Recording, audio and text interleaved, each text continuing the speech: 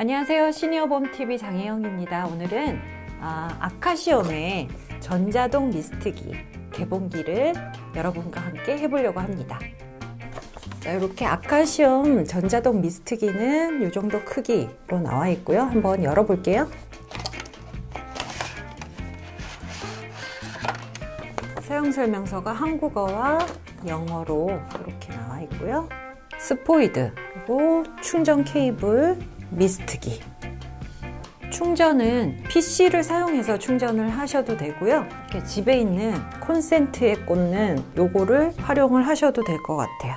충전 단자는 여기 있습니다. 이렇게 고무 바킹으로 되어 있고요. 여기를 열어서 끼우시면 이렇게 빨간불이 들어옵니다. 충전이 필요할 때는 빨간불이 들어오고요. 충전이 완료되면 파란불로 바뀝니다. 크기는 이 정도 크기, 제 손바닥하고 비교를 하면 이 정도 크기고 어, 얇기 그리고 곡선으로 돼 있어서 그립감은 굉장히 좋네요.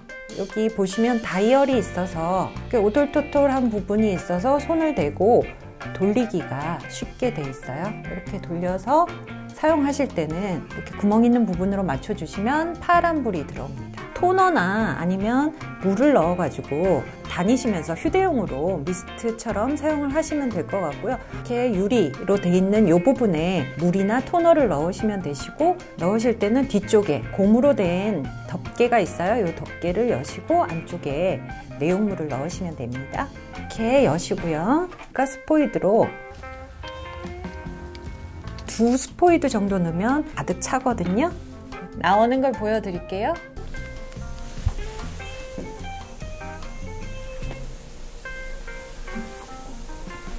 이렇게 한번 작동이 되면 30초 동안 계속 분사가 돼요. 내용물을 넣으셨을 때 작동이 안 될 수도 있거든요. 그럴 때는 흔들어 주시면 작동이 돼요.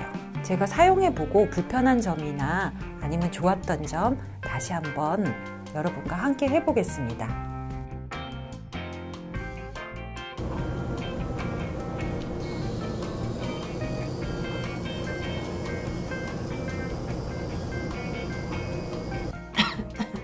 제가 미스트기를 받고 2주 정도 사용을 해봤어요. 어, 물을 넣고 사용을 해보기도 하고 점성이 없는 토너를 넣어서 사용을 해봤어요.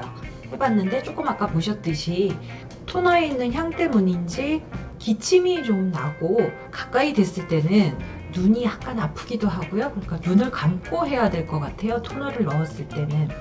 제가 이렇게 2주 동안 사용을 해보고 나서의 느낀 점을 말씀을 드리면 일단 장점을 말씀드리면 작동하기가 굉장히 쉽고 건조한 곳에 갔을 때 잠깐 동안 가습기 역할을 하기 때문에 눈이 좀 편안해지는 느낌이 있었습니다. 이렇게 한 손에 쏙 들어와서 쉽게 휴대를 하면서 다닐 수 있는 장점이 있고 이렇게 한 번에 돌리면서 자동으로 30초 동안 분사가 되기 때문에 따로 뭐 시간을 지정하거나 하지 않고 편리하게 사용을 할 수 있네요.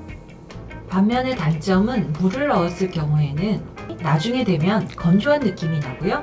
그리고 점성 있는 토너를 넣으면 노즐구가 아마 막힐 것 같은 느낌이 들고 점성이 없는 토너를 넣었을 때는 그 향 때문에 침이 난다는 어, 그런 단점이 있고요.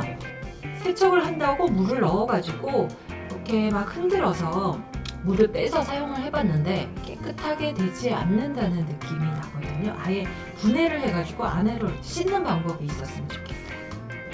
이렇게 해서 아카시온 전자동 미스틱이 개봉부터 사용 2주 동안 느낌을 솔직하게 리뷰해봤습니다.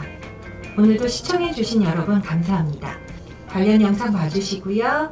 구독도 부탁드립니다.